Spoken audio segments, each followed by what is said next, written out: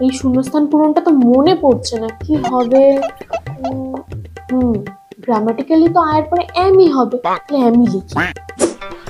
আমি তো কিছু পড়েও আসিনি কেউ আমাকে একটু হেল্পও করছে না। এই শূন্যস্থান পূরণটা কি হবে? অপশন তো আছে এম ইস আর আয়ের পরে তাহলে কি বসবে? দেখি শুনতে কোনটা বেশি ভালো লাগছে তাহলে সেটাই বসে। I is I am. I am হ্যাঁ আয়ের পরে অ্যামটা শুনতে বেশি ভালো লাগছে, তার মানে আয়ের পরে অ্যামই বসবে।